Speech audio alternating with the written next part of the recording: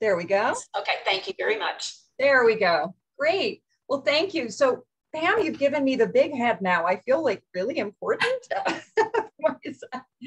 um, yes, I've taken the level one and two NPSOT Native Landscape Certification Program classes. And gosh, if you have not taken those, they are amazing. Um, I uh, serve on sort of a subcommittee of the level four, which is helping develop a class on advocacy. And we're in the infant stages of that, but I'm super excited about it. So I am thrilled to be here. I really want to thank Nancy Huffman and Pam Leanhard and all the others who helped me do this for your awesome Kerrville chapter of NPSOT. I love speaking to the true believers in NPSOT. I find that uh, just very, very fulfilling. So I'm going to go ahead and go into presentation mode. And very quickly at the beginning of this talk, let me just say that um, you know, it's called the what, why, and how of gardening for wildlife. And that kind of tells you the order in which I'll do things. We'll talk about what a wildscape is first and what pollinates within that. So, sort of a subcategory of insects and other creatures. Then we're going to talk about why it's important to do this kind of gardening. I think that's a really important conversation to have. You don't ask people to change things unless you tell them why. And then finally, I'm going to give you just five simple, easy peasy, lemon squeezy tips on how to actually do this in your own home garden in a way that your neighbors will understand to be a garden and they won't rebel against and they'll embrace, but also that's 100% supportive for wildlife. At the beginning, let me also say that all the photos that you see that have no attribution in them are taken in my home wildlife habitat gardens in Houston. For example, this is a westward facing view of my front yard from last, uh, this would be summer, early fall, about summer, a rattlesnake master and so forth is coming up, I guess spring. And um, our house is under 1600 square feet and the front yard is proportional in size.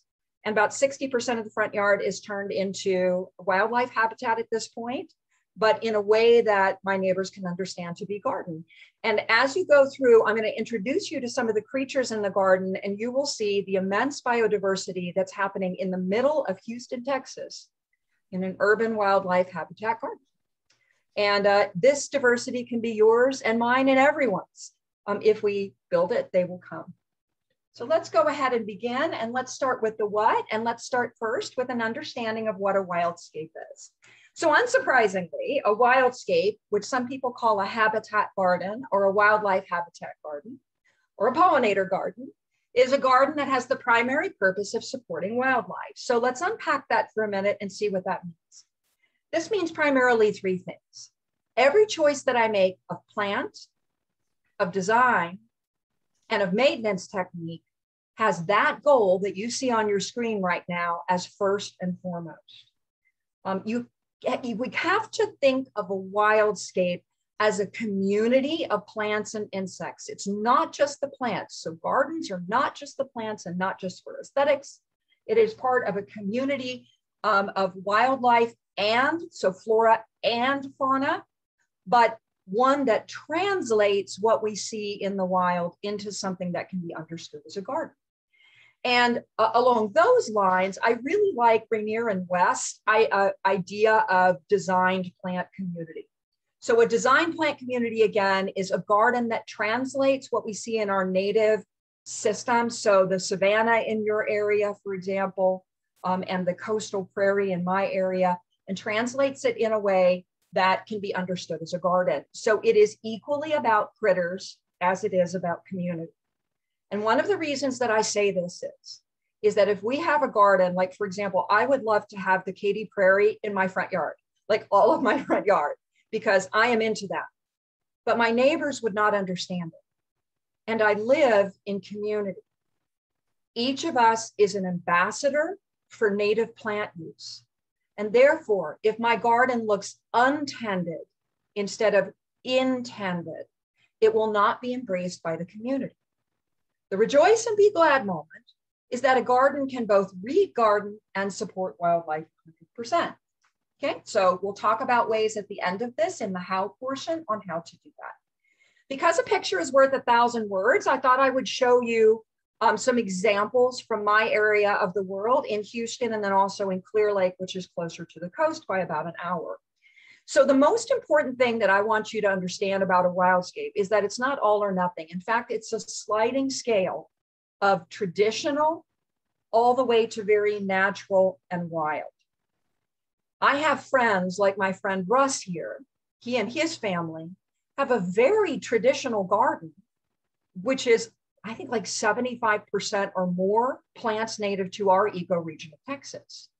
No one can mistake this for an urban garden. So you notice that it has a lot of geometrical shapes. You notice that it has pathways and hardscaping to separate the different beds.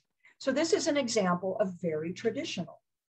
Um, the next couple of examples are going to be sort of in the middle in different areas. This is a mix. Um, some of you may know Jaime Gonzalez. He was with the Katy Prairie Conservancy and now with the Texas Nature Conservancy here in Houston.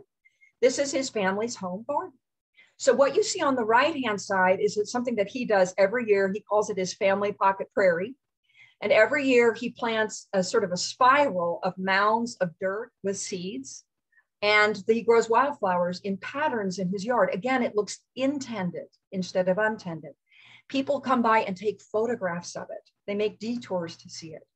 In the backyard, what you see is some beds that are bordered and other beds that have what we call um, green edging to them. In other words, there is a sharp delineation between the plants in the garden bed and the lawn in between in such a way that the eye reads distinct beds. So this is what I would call sort of a mid-range example of a wildscape. Another one from the former home of um, Jerry and Susan down in Clear Lake. So this looks even a little more wild still. This was, I want to say they had over 100 something species of native plants. So it was the vast majority of their garden beds. And as you can see, for example, on the left and the bottom right, the content of the garden beds were very wild looking indeed, very natural.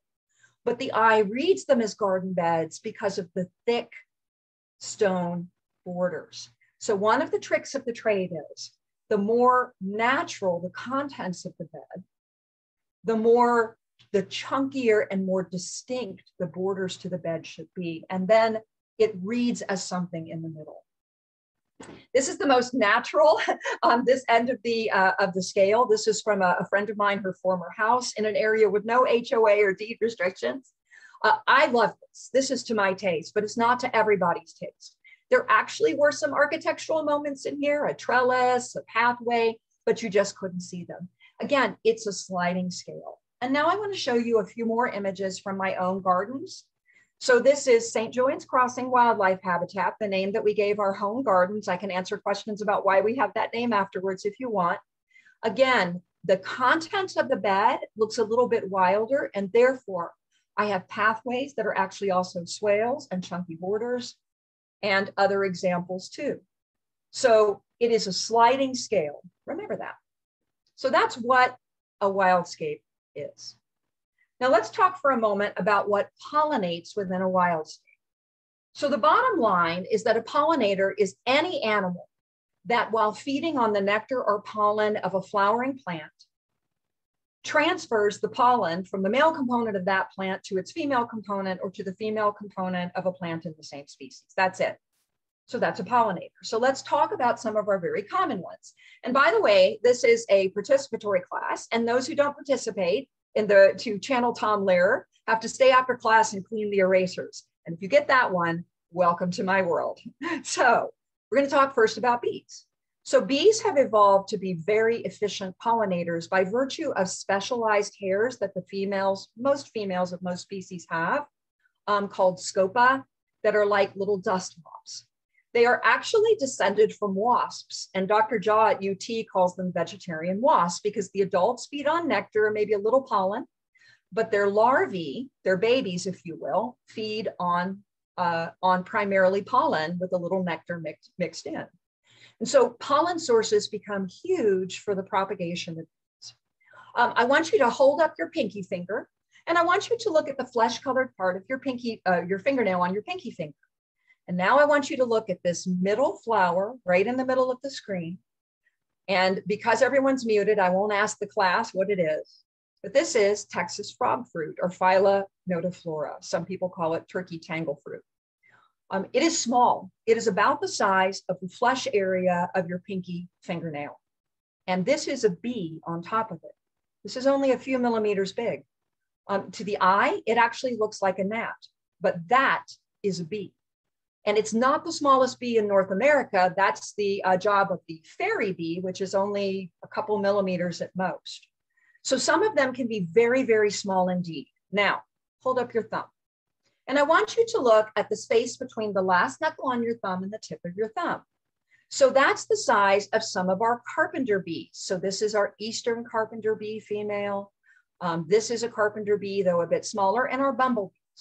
So they can range greatly in size. Um, they also feed with a tongue. Some of them have longer or shorter tongues. Bear with me, there's a method to my madness. You will see why how they feed and what sizes and shapes they are matter when we get to the how of gardening later. And they're quite diverse. Who knew that bees could be green and blue? Am I right? And orange and red and brown and yellow and black and all kinds of colors, white as well.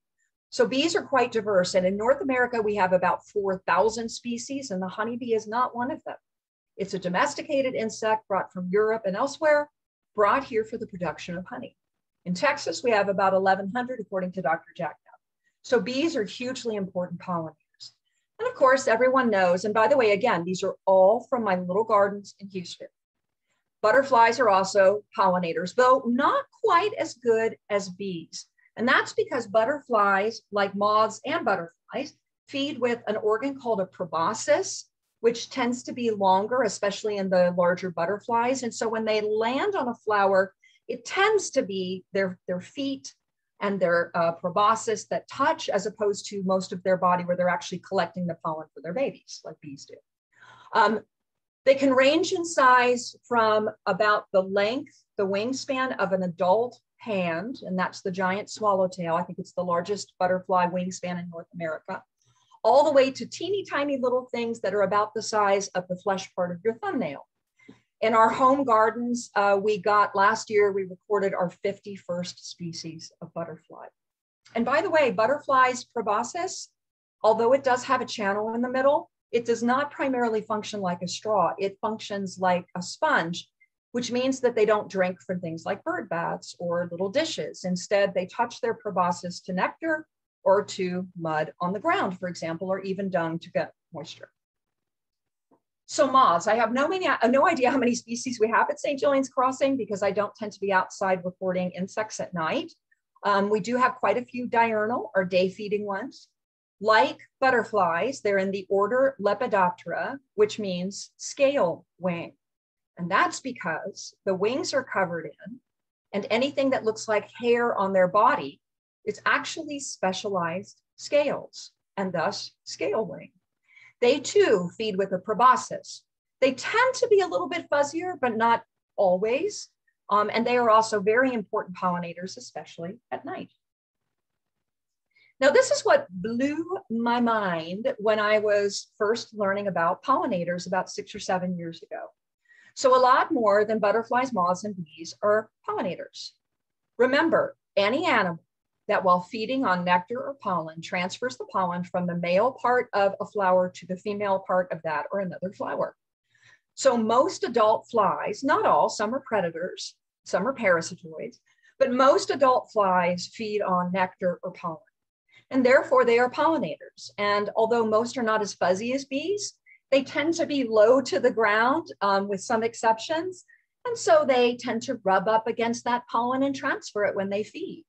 The other cool thing about flies, in addition to their being beautiful, is that some of them, like for example, this one on the right of the middle, this one on the top right, and this one on the bottom left, are actually in a family of flies called syrphid flies or hover flies.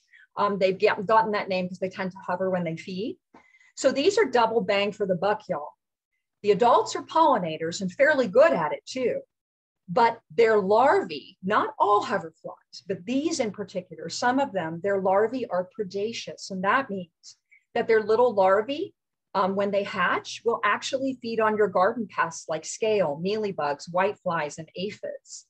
So they are a huge part of keeping our gardens in balance without pesticides. And a single larva of one of these, depending on the species, can consume 200 to 400 aphids before it pupates. So rejoice and be glad if you have some of these flies in your garden. And now wasps. So I say wasps, and most people are like, ugh, wasps. And that's kind of how I felt because they eat our butterfly caterpillars, don't they? And of course, as humans, we we want to protect our, cat, our butterfly caterpillars. But I am now of the philosophy that the circle of life is more important and the system is more important. That's just my personal view on it. And even though these wasps eat those caterpillars of moths and butterflies, they also do a fantastic job at natural pest control. They are one of the reasons that my husband and I have used no pesticides in probably six years, not even natural ones. We don't need to because these take care of it. Most of the adult wasps are actually feeders of nectar and pollen. It's their babies that are predaceous, their larvae. And so the mamas will sting those insects, yes, caterpillars, but also your garden pests, and they will stock the larder for their babies. And others will lay their eggs inside of them. And some of those wasps are very tiny indeed. These are new hatchlings, and this is a Gaillardia pulchella or a blanket flower or firewheel leaf, or I mean petal. Look how tiny they are. I think they're also beautiful. So they're pollinators as well. And finally, what I like to call the four B's plus more, beetles, bugs, bats, and hummingbirds. So basically any animal that transfers that pollen while feeding. Okay, so now that we've talked a little bit about the what, oh, and by the way, wasps feed with the tongue just like bees do because they're related in an ev evolutionary way. Um, so let's talk about why we need wildscapes, um, focusing more broadly on all insects instead of just pollinating insects. So this is a great study that was um, issued about 15 years ago. It's cited by Dr. Doug Tallamy in his Bringing Nature Home and other sources. So this is great. And so what the authors decided to do, the researchers did, was they tried to give a dollar value to the eco services that native insects in the continental US brought to our economy each year. They concluded it was around $60 billion, but they said at the outset and at the conclusion, that is way low. And by the way, this excludes honeybees because there's a lot of data on those. So this is just our native insects and that number is low and that's annual. So of course, those insects that pollinate, even beyond bees, um, are hugely important for our food crops for humans. So about two thirds of our food crops require insect or animal pollination to propagate. And that translates to about a third of what we eat each day. And this is billions of dollars a year to our economy.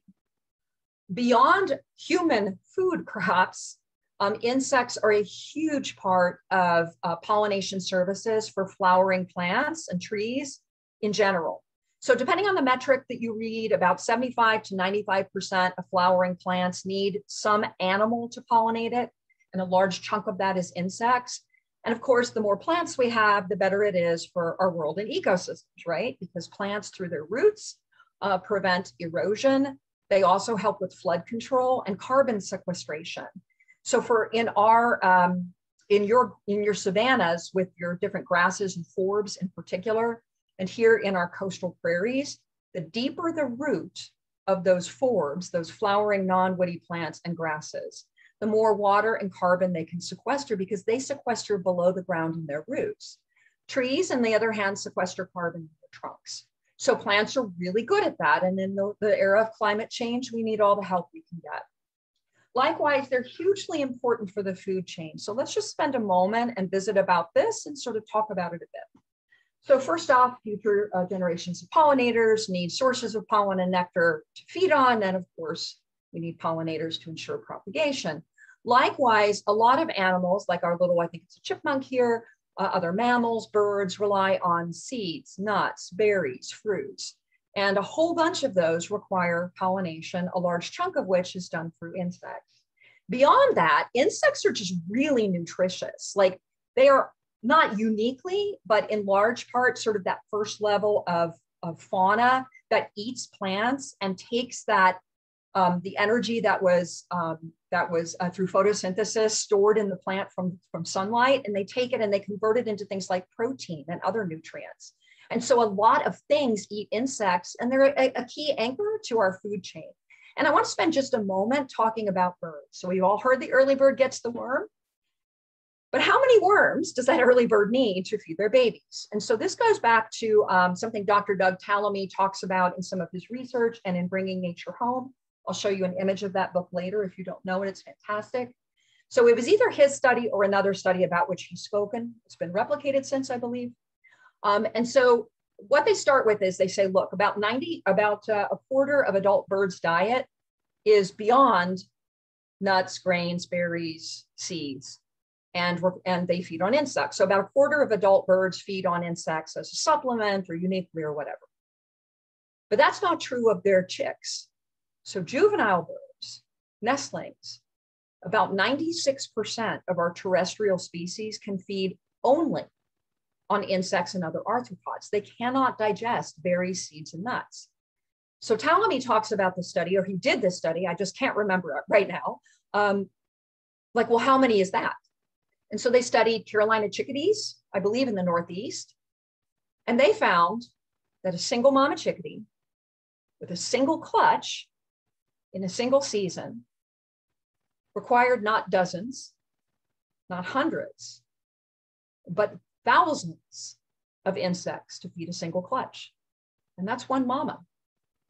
So if we don't garden in a way that invites in insects, we will have fewer baby birds or baby birds that starve, which is a very sad thing indeed, with all the data coming in about how, how much in trouble birds are from various sources. So I just sort of offer that to show how important insects are in the food web. It's just one example. There are also um, really important insects are in decomposition services. So for example, they recycle dung by feeding on it. They break down dead plant matter. They even uh, help decompose carrion. And when they die, insects themselves degrade and release things like, I think, nitrogens and other things into the soil. I have no idea why my soil is so rich here. I really just buy the like cheapest organic, no mix in soil and compost when I originally create my beds. And then I don't feed them anymore. I don't need to anymore. And I suspect it's because of the high number of insects and other animals that are drawn in that leave byproducts or else that die in the soil. That would be part of my guess. Uh, insects are also really, really good at taking care of their own, to paraphrase Dr. Tallamy. So they're really good at pest control to the tune of over four and a half billion dollars a year. Um, this is parasitoids and predators. Um, and to paraphrase Tallamy again, if you have a problem with too many insect pests, then you need more insects. so we welcome them in and they take care of our pest control. So the thing is, and this is the why, y'all, that insects are in a world of hurt right now. You can see on your screen a lot of what scientists and researchers, so these are entomologists primarily, believe are some of the drivers, uh, the key drivers of insect decline, primarily things like um, habitat loss, fragmentation, and degradation of the soil. Because, you know, where I live was all coastal prairie, it was savanna where y'all are, and humans have moved in and we're not going anywhere. So not only have we fragmented by moving in, we've actually removed some of that natural habitat. And by planting non-natives that insects can't eat, we've actually deprived them of that. Um, parasites, disease, climate change, and so forth. And we could spend a week on this, and I'm going to spend 20 more seconds. Um, suffice it to say that the entomologists and researchers don't know all the parameters yet. They don't know how much each of these contributes. They don't have, certainly don't have all the data from around the world. Um, they are scratching the surface of it. But they are telling us right now, and by the way, anytime a researcher takes off their white lab coat, comes out of the lab and says, I'm still researching this, but I can see the writing on the wall and it's bad, y'all. When they do that, like they're doing for insects, we need to listen because that's unusual. It's been described in January of this year as death by a thousand cuts. Serious declines in insects' abundance, diversity, and biomass worldwide. Again, we haven't explored all the nooks and crannies. We may not even know all the species of insects. Surely we don't. But we know that they're in a world of hurt. And entomologists themselves are now calling for action at all levels, y'all international, national, province, state, city, and individual. And I want to give you just one glimpse into the thinking process of some entomologists. So this is from a couple years ago, June of 2018, sorry, June of 2019. It was in Mongabay News, which reports on the tropics and so forth. It was called The Great Insect Dying, a four part series that's linked in the handout um, that was mentioned at the beginning of the talk. So it's online with your NPSOT chapter website. So they interviewed 24 entomologists from 12 different countries uh, spread out over six continents. And they asked them one question on a scale of zero to 10, with zero being no problem at all, and 10 being extremely dire. How would you rate the insect abundant crisis? None of the 24 said below eight, and some of them said 10. And these are entomologists. So it's not good. And I give this talk all the time, and there is literally no way to sugarcoat it. So I don't know about you, but after that, I could use a rejoice and be glad moment. So are you ready for the rejoice and be glad moment? Right here, right now, right in our own gardens. We are a critical link in the chain that will save insects and thus the ecosystem. Right here, right now, right at home. And we all know how a chain works. It is only as good as the integrity of each link in the chain. So I'm not going to lie. We do not get a hall pass on doing things beyond our own garden at the individual level. We still must be engaged to the extent that we can in the international, national, state, and local, like city and county level. We have to be engaged because a chain needs all of its links. But flip that coin, y'all. We, in our home gardens, are a critical link in that chain. I may have only indirect influence at the national or international level, for sure. But by God, I can control what goes into my garden. And I don't know about you, but I find that massively empowering. Like I used to look at those that data on insects and be like, what am I going to do? And then I realized I'm going to do stuff at home. And I see this, y'all, like our civic duty of voting and doing charitable works and helping our community. If your neighbor's down on their luck, you help your neighbor. That's what's that's what citizens do. That's what community does. No different. And I don't know about you, but that and a cup of coffee gets me going in the morning, right? So it is in our hands. I love what Dr. Doug Tallamy says. This is from Bringing Nature Home. Now, for the first time in its history, gardening has taken on a role that transcends the needs of the gardener. Like it or not, gardeners have become important players in the management of our nation's wildlife. It is now within the power of individual gardeners to do something that we all dream of doing, to make a difference. I love that. And when we do these gardens, and by the way, I would say it's less about the size of our garden than about the fact that we have a garden that uses the right plants, design, and techniques. Because when we do that, y'all, remember we talked about habitat fragmentation? When we change how we garden so that insects and other animals can use it, we create, in the words of some researchers, stepping stones or others, biocorridors that help reconnect our fragmented habitat while we still live here. It's a win, win, win. And Tallamy calls that bringing a homegrown national park. So we are part of that solution. So these are the books that I've been mentioning before. Uh, the one on, these are both by Dr. Doug Tallamy, who's an entomologist who doesn't write like an entomologist. He writes beautifully, easy to read, easy to understand. On the left was written more than 10 years ago on the right came out, um, I think in February or so of 2020. If I had to choose one, I would choose Nature's Best Hope because it is sort of an updated continuation of bringing nature home, but both are outstanding. Okay, so now let's talk about five simple steps to um, make our gardens inviting to insects and thus other wildlife. Before I begin, I want to recommend three books that I have found extremely helpful. So on the left, I would say this is the most basic of the wildscaping type books. This is by Rick Darke, who's a landscaper in this kind of landscaping, and Dr. Doug Tallamy again. So the two books I showed you from Dr. Tallamy before are the why, but not the how. This is the how. And so it's called The Living Landscape, really accessible, easy. If you're a pretty rudimentary gardener, like at the beginning, this was very helpful for me. To the right is um, Rainer and West. I talked about them early on. This is called Planting in a Post-Wild World. This is sort of an intermediate level. Um, I will say one thing about Rainer and West.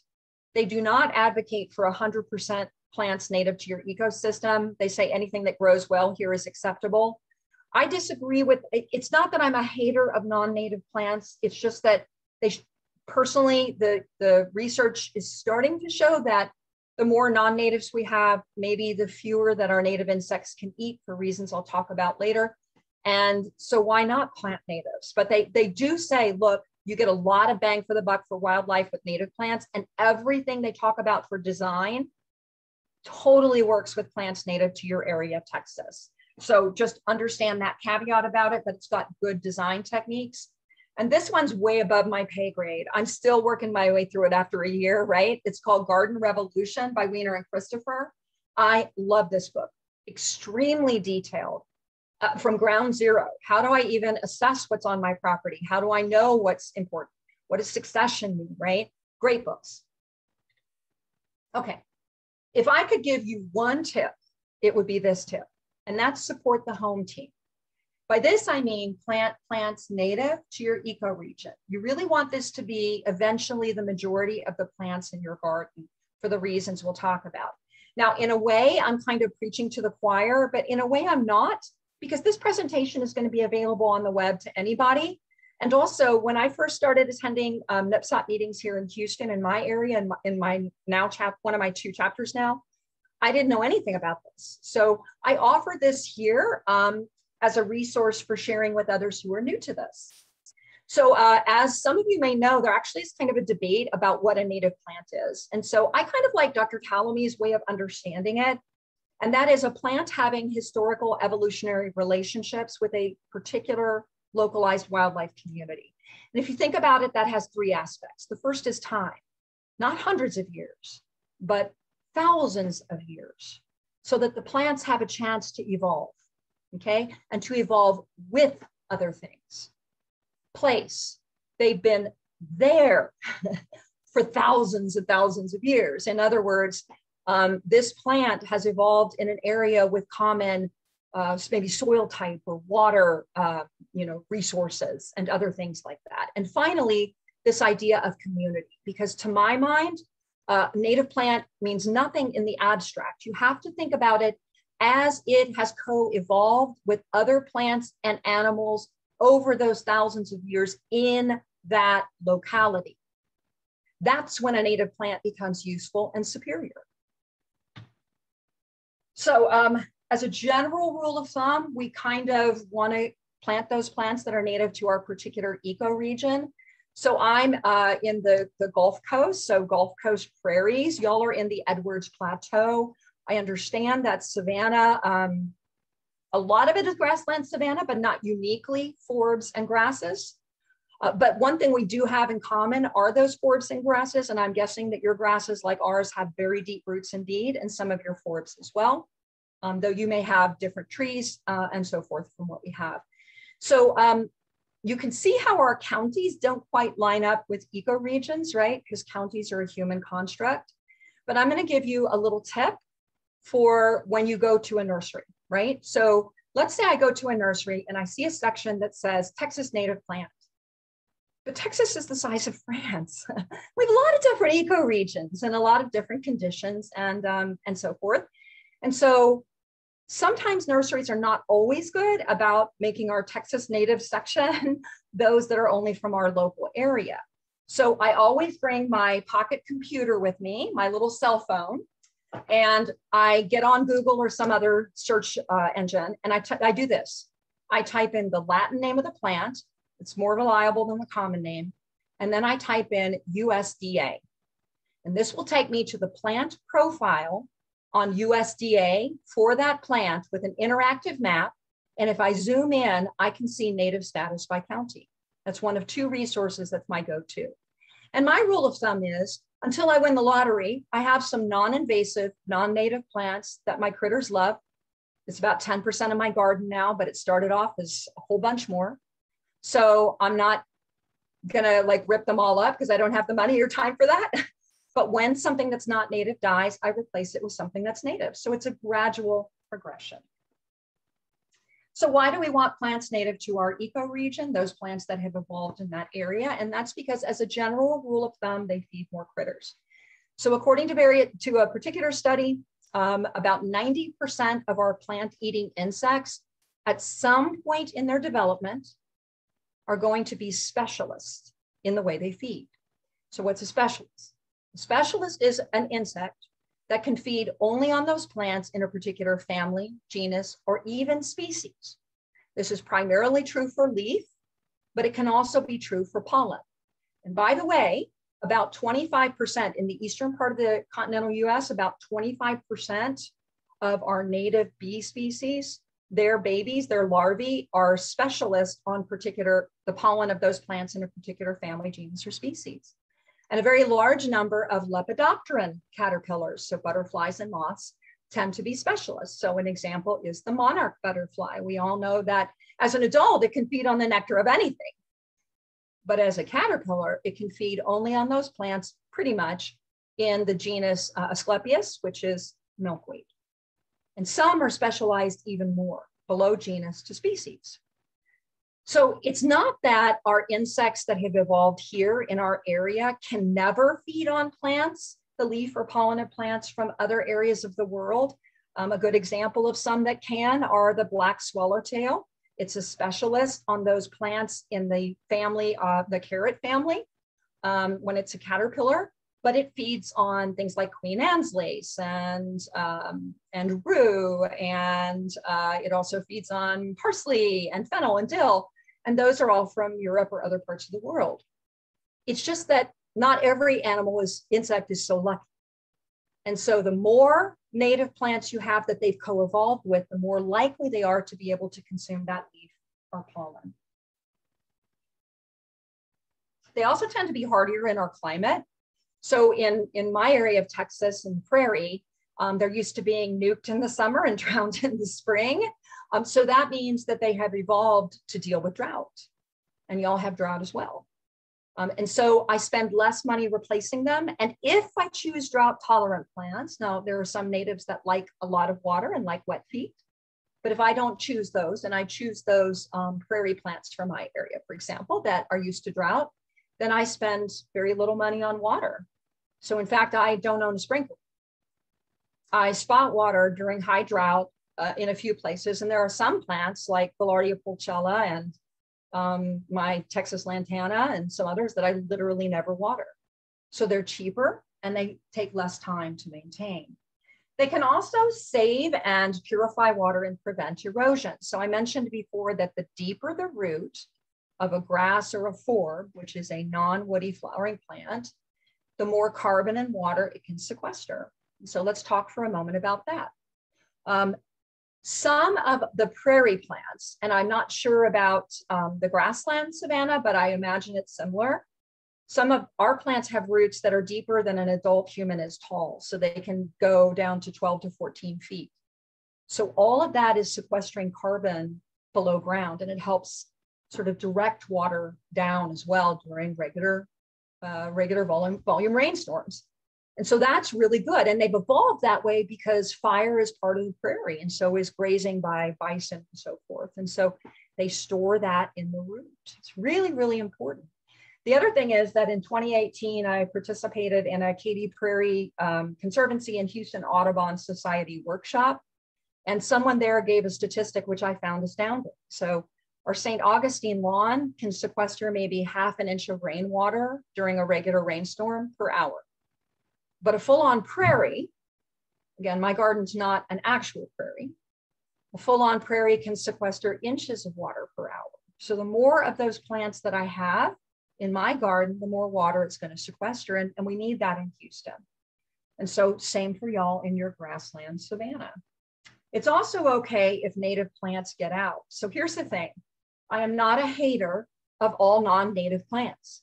What I'm concerned about, and um, uh, someone was talking about this in the meeting, um, I'm sure you're concerned as well about those non-native plants that are aggressive and that nothing here has evolved to eat.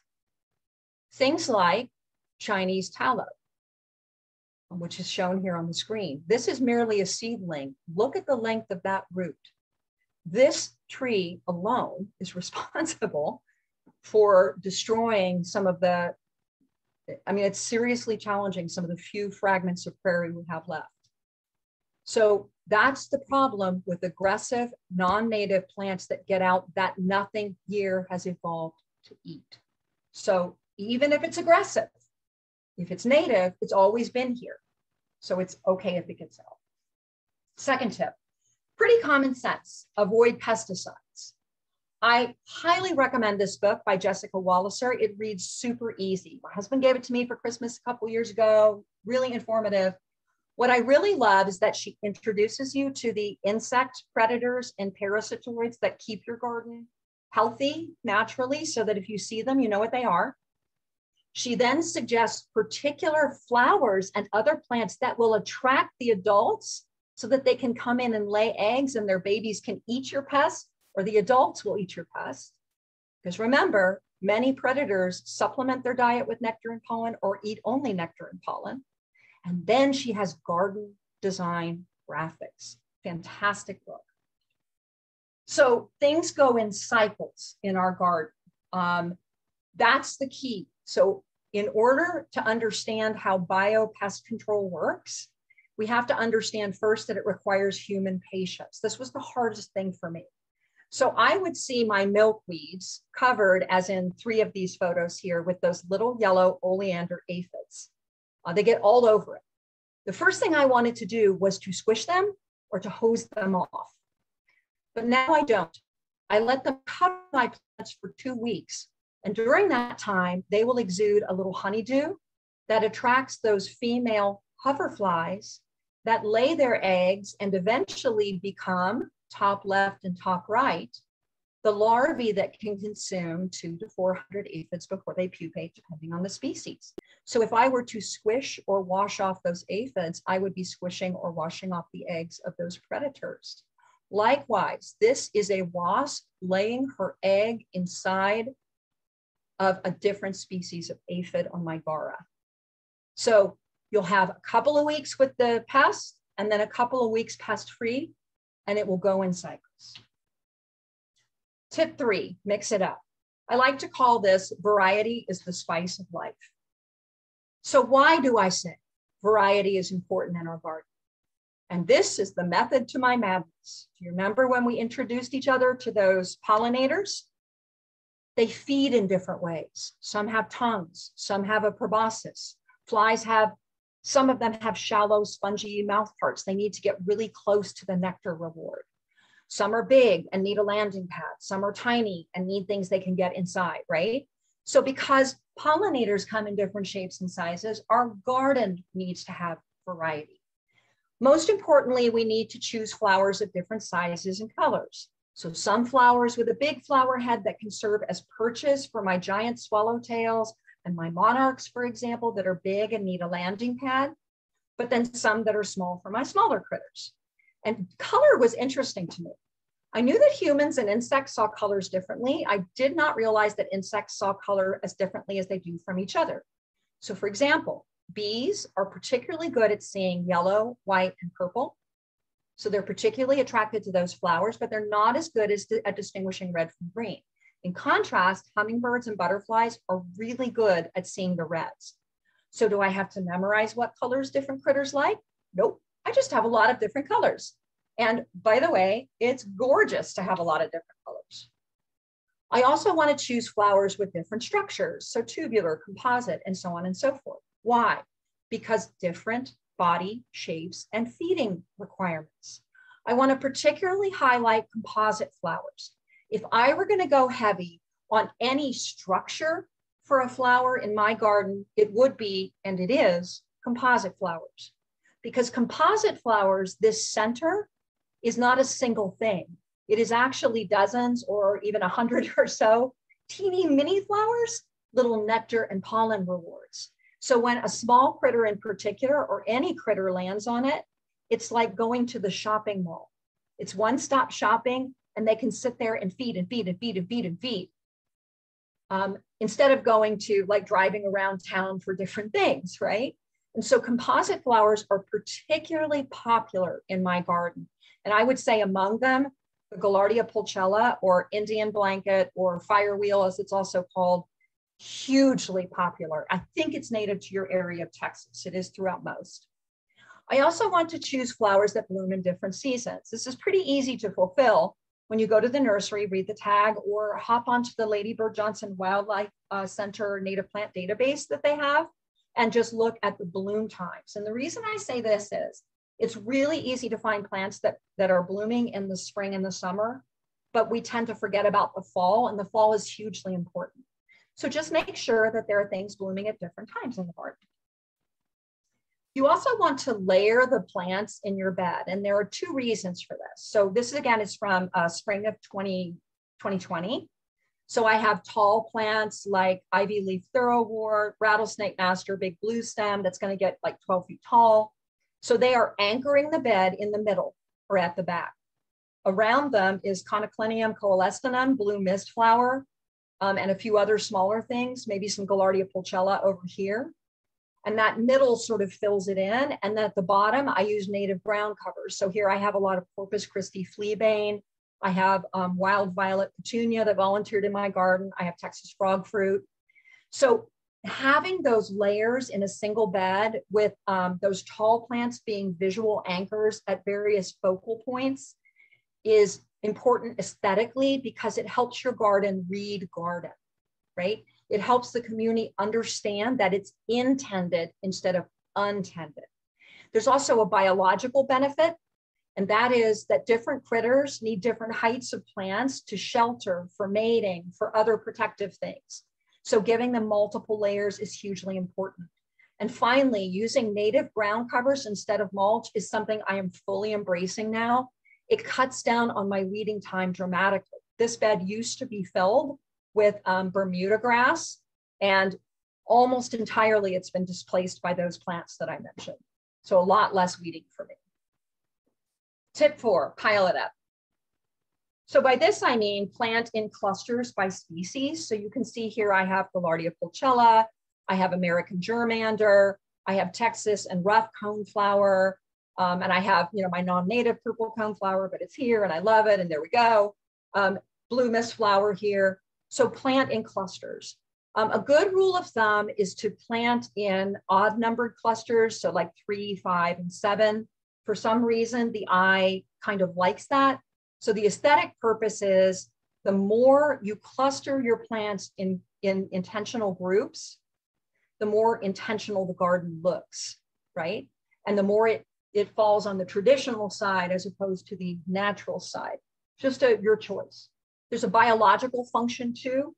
Um, and that reason is that, uh, so first off, butterflies flying overhead might be able to see the particular flowers they like better if they're in a cluster but also some of our bees and other insects, primarily bees, practice what we call flower constancy.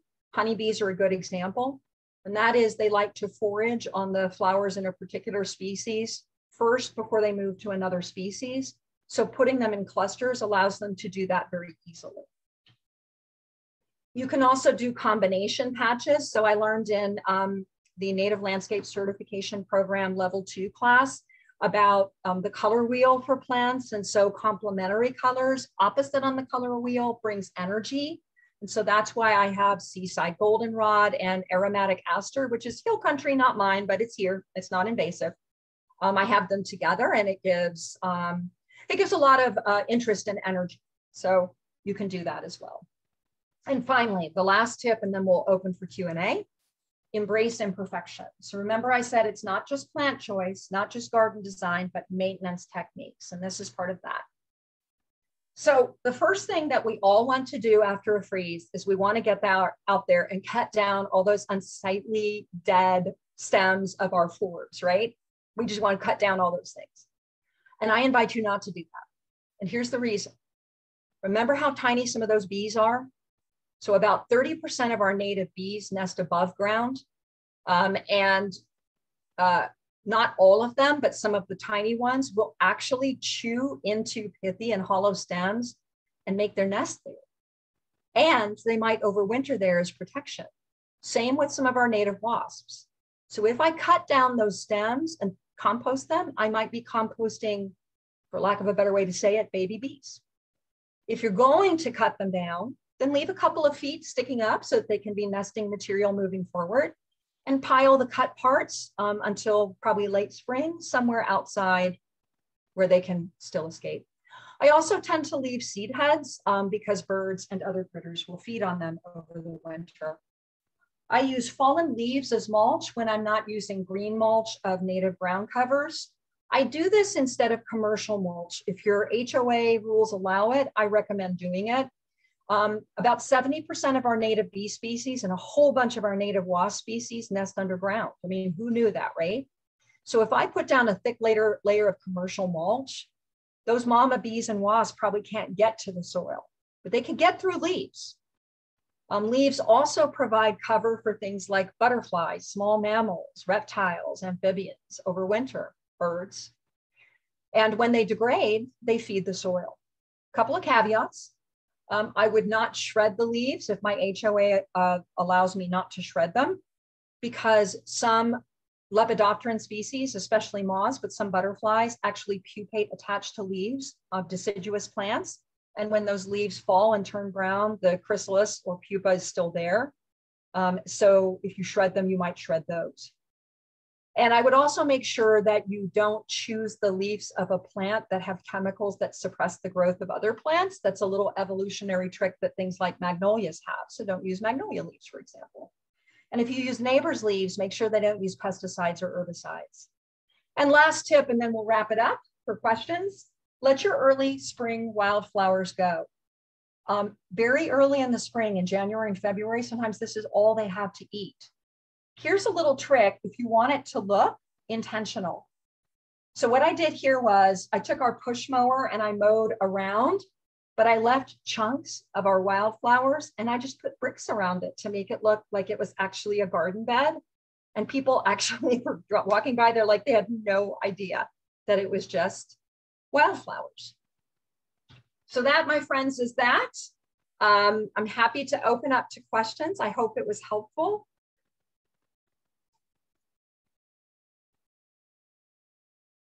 I hope you enjoyed it. Yes, thank you very much, Lauren. Very informative. And, you know, all of those things work for our area too, all of the concepts, not necessarily all the specific plants, but all the concepts and what to do. Definitely. So I'm going to look in the chat and see what we oh. have. Oh, oh, oh. Okay, do we have questions? Right now I'm seeing thank you for such a well-planned, focused, organized, and on-point message. Mm-hmm. Glad y'all enjoyed it. Elaine, do you have a question? Yes. I was wondering, I, with all the rain we've had this year, all my flowers and have been growing like crazy, but they're not flowering. And it, without flowers, it's not helping pollinators much. So what do I do to get them to, to flower? So what plants do you have, Elaine? Oh my goodness. Well, I've got different kinds of salvias. I've got lantanas. I've got, um, oh my, well, I have a lot of um, this, the salvia that grows in the shade. It's like scarlet sage, salvia coccinea, the red one. And right. there's blue. There's blue too that grows well in same shade. Right. And uh, I mean, they're just they're just uh, coming up all over everywhere. and um, that's not the. There's something else. I anyway. I don't remember all of them. I got them all at the the native plant sales. So uh, I just wondered there. I mean, they're just sitting. I've even tried cutting back some. Oh, and and my Esperanza last year was the first time it's bloomed, and I just whacked the heck out of it because I was mad at it for not blooming, and it started blooming after I cut it way back. So it really, I, my in my experience, it can really vary widely why something doesn't bloom, and sometimes I just don't know why it doesn't. Um, sometimes when I have, so I like I told you, I choose a lot of drought tolerant plants, and I make sure that my soil is like I mix in a little sand with my soil sometimes so that um, so that I make sure that it's well drained. But that said, uh, sometimes when we have a whole bunch of rain like we did this year, it stresses out my like my fire wheel, my Gaillardia pulchella. Uh, uh-huh. when I had Texas lantana, I don't have it right now, but when I had it, sometimes when it got too much rain, it would stress it out. And so the leaves would turn yellow and I would have issues with some of the blooms. Do you know what I mean? Um, they would be kind of sickly.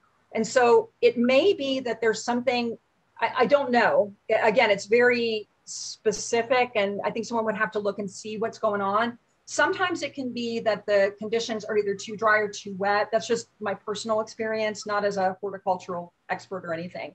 Um, the other thing is that some plants that can go from like part shade to full sun, I found actually bloom more profusely in full sun. So, for example, in my area, we have blue mist flower. Um, y'all may have Gregg's mist flower out there, but blue, um, it can grow in part shade, but it doesn't bloom a lot. Um, whereas if it's out in part sun to full sun, it blooms a whole bunch. It just needs a bit more water. So the, some of the salvias you're talking about actually should be blooming, like um, blue sage and scarlet sage, if those are native in your area. So I'm, I'm not sure what that might be. Maybe it's soil thing. Maybe it's just, um, maybe they're just too young. Some plants take a couple of years to start blooming.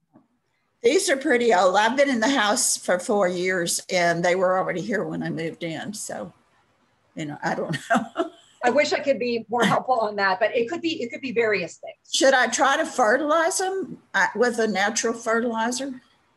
I mean, you could try, but I would see if you could find someone to diagnose it first. Oh, okay. Uh, we have a question, Lauren, from Penny about controlling, um, is it Johnson grass? Controlling ah. Johnson uh, grass. Do you have any suggestions? Uh, I wish I had an answer on that. Um, I, you know, I, I've been, okay, I'm going to say I've been fortunate and not had it in my yard. And now I'm going to have it in my yard. um, I have Bermuda grass um, and a few other things that I just hate and I just can't get rid of. But, um, but there are ways that I have sort of squeezed them out. I don't know if it would work for Johnson grass. Um, what I have done is that sort of that green mulch technique. So like I said, I had a whole bed infested with Bermuda grass. You know how hard that is to get out. And if you pull it out, it actually comes back more vigorously. It's just the worst. Um, so I actually started planting in those other things. And then here's the trick with green mulch technique. You get in an aggressive native ground cover, you plant in plugs of it, or you can also throw down seeds. When the thing you don't want comes up, let's say Johnson grass, Bermuda grass, instead of yanking it, you clip it at the base of the plant. The root is still under the ground, but if you pull it out, you actually stir up those seeds of that annoying plant and others that are in the soil and will actually germinate more of it. So you cut it back so that your native ground covers have the advantage. It's all about giving them the advantage. And eventually they will take over that whole bed. Now, it's not like you will never have. Um, again, I'm guessing Johnson grass would respond similarly. I don't know in my personal experience, but I know Bermuda grass, I still get some, but it is not taking over the whole bed anymore because it's out competed. And then again, when I get it, I snip it at the base. So that's one technique that you can try. But I would suggest going to the ag extension, um, near, you know, an ag extension website and seeing what their recommendation is for Johnson grass. That one is a, a huge problem.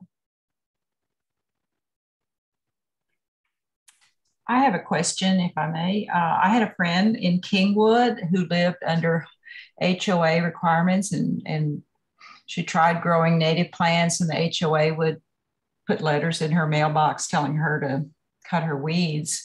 Uh, I've also heard on the other hand that HOAs really can't make you stop um, so, so, what is the truth? You're, I mean, you're you're uh, yeah. with this. What what is the real story here? So there actually is a statute. It's in the Texas Property Code. I forget the number, And it was enacted after, do you remember after Hurricane Ike, there were a couple of years of terrible drought. and We lost all those trees and everything. I know it affected y'all too. It's just the worst. And so the legislature, maybe it was 2013 or something, or 15, got together and passed a statute that is doing what Pam's talking about. And what it did was it said um, it was geared towards water conservation, so not necessarily native plants. So it said that HOAs, private uh, HOAs, cannot per se just, it, and I'm, I'm paraphrasing, I'm trying to remember y'all. Um, they can't just prohibit people from having rain barrels to collect water. They can't prohibit people from using xeriscaping, for example. So low water plants. And of course, we know that a lot of our native plants are drought tolerant, right? So there's an argument that that fits under there. But what they can do is they can regulate. So where you put that water collection receptacle or the color of it, right? Or the size of it, they might be able to regulate. Likewise, where your garden bed goes and so on and so forth. So they can regulate it, but they can't outright prohibit it if what you're doing um, fits into these categories of things in certain size cities only, um, if it fits into these categories that conserve water. So, and, and that is despite HOA um, rules and deed restrictions, which is unheard of. I was surprised. Like normally they say, you can have this landscaping, but if your HOA private contract says you can't, then too bad. But they trumped it, which was surprising to me. So we know that these statutes can exist, Pam. It's just that they're not absolutes in our favor. Does that make sense? Yes. Um, the class that um, the subcommittee that I'm chairing with um, three other people from NPSOT who are amazing that we're putting together on advocacy is going to talk about some of these legal structures that um, that you know control at the state and local level. So what things control what we do in our yards, including those private things like deed restrictions and so forth. And then how do we work with them? How do we work with our HOA to get them to change their mind, right? I think part of it too is being very careful when you start, Pam, reading those deed restrictions and HOA rules. And to the extent possible, like if they say your bed has to be this size, keep the bed that size. But if they don't regulate the plants that go in it, plant the heck out of those native plants. So do that or seek pre approval for an exemption. And if you can't get by with that, or some HOA restrictions just are like, you have these seven plants to plant, and invariably they're hmm. invasive, non native garbage, right? So if you have that, then it's a question of advocacy, which we're all exhausted, but that's the way to do it. And it's really about changing the minds of your neighbors too. Like my yard looks very different from everyone else's one of the reasons that no one like i don't have deed restrictions or hoa restrictions that preclude it but people could complain if they wanted to um, and they could they could bother you know create a bother but they don't because i have signs that say i'm a certified wildlife habitat and so forth i have a little flip thing with flyers that says take a flyer learn the story of st julian's crossing and it talks about the gardens and has resources I do seed giveaways for free with when we're outside COVID at the house. When the neighbors move in, we do welcome baskets because that's what neighbors do. But then we get to know them, and then the kids come over and they watch butterflies hatch, and they watch butterflies lay their eggs, and they hold caterpillars. So it's all about building those relationships. That won't always convince an HOA board, um, but those kinds of things are all ways of being ambassadors. And we hope to address some of those in that NLCP class. Thank you. Um, Rachel um, from San Antonio, Sawinski has put up some links that uh, um, everyone should take note of. I think we can save those and post them. So thank you. Yeah. Any other questions, anyone? Uh, Lauren, you had said something earlier about telling us why you named your garden, oh. what you did. Mm. So we'd appreciate it if you could tell us that story. Sure, Nancy. So everyone says, why St. Julian's Crossing wildlife habitat? So it's actually a funny story, right? So when we have three certifications for our gardens, and one of them is a Monarch way station with Monarch Watch, which I highly recommend too. And you can take on a name when you certify it. And so I said to my, I, am Catholic. So I said to my husband, who's not Catholic, on a good day, standing downwind, I said, I would love to name it after a saint. And, and I love St. Francis of Assisi, but everyone's garden is devoted to St. Francis of Assisi. I said, so I have to think of something. Five minutes later, he comes in, my non Catholic husband, and he goes, How about St. Julian, the Hospitaller? And I said, What? Who's that? And he goes, He's the patron saint of travelers and innkeepers, and the monarchs are the travelers through the inn of our garden. And I said two wow. things to him. I said, first off, you can watch all the football you want now, no problem. and second, are you sure you're not Catholic? so anyway, that's the story of our name, and uh, it just, I, it just sort of united all those because ultimately I see the ecosystem as God's creation. I see it as, you know, regardless of a person's spirituality or religion, I think we're all feeling connected, you know, that God has created this earth. And so we are stewards of this earth. And so that's one of the reasons I wanted it to have a spiritual name. It just happened to be in my faith tradition. Thank you for sharing that. I really like that story. Are there uh, any, any, other, other questions?